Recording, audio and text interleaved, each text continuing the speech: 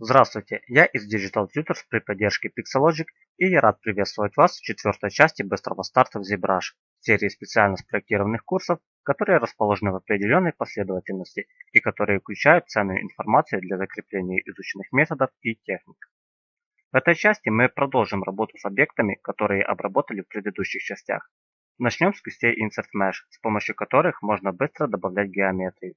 Также рассмотрим Dynamesh и быстрый дизайн, кисти на основе кривой и особенные кисти Insert, в частности Insert Multimesh и Insert Tripart. Кроме того, ознакомимся с инструментами топологии и воспользуемся инструментом Spotlight, чтобы спроецировать текстуры на геометрию. В конце этой части у нас будет полностью слепленный и разрисованный персонаж.